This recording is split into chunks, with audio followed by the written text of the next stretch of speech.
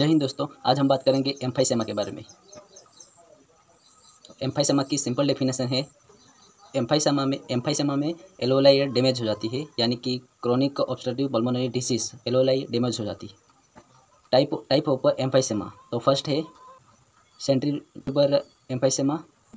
इस टाइप में अपर lungs inflammation यानी कि सूजन आ जाती है अपर लंग्स को और सेकंड टाइप है panlobular emphysema panlobular emphysema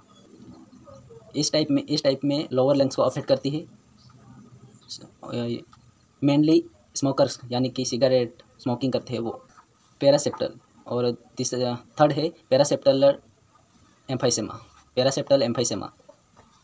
third type में एलोलाइया लोअर लंग्स लंग्स के लोअर लोब में अफेक्ट करता है लंग्स में एयर एक्यूमुलेशन यानी कि एयर एक्यूमुलेशन यानी कि इकट्ठा हो जाती है एम्फाइसेमा की etiology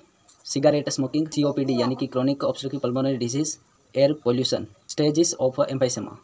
global indicative initiative first है वेरी माइल्ड मॉडरेट एवेयर तो फिजियोलॉजी एम्फाइसमा की पैथोफिजियोलॉजी तो फर्स्ट है chronic inflammation protein activity protease activity increase यानी कि बढ़ जाती है इलास्टिलिटी लो हो जाती है एलोलाई सरफेस एरिया डिक्रीज हो जाती है रेसिस्टियल रेसिस्टियल वॉल्यूम इंक्रीज यानी कि विशिष्ट वॉल्यूम इंक्रीज यानी कि बढ़ जाता है फ्लूड रिड्यूस हो जाता है एक्सपेरेटरी वॉल्यूम डिक्रीज हो जाता है यानी कि कम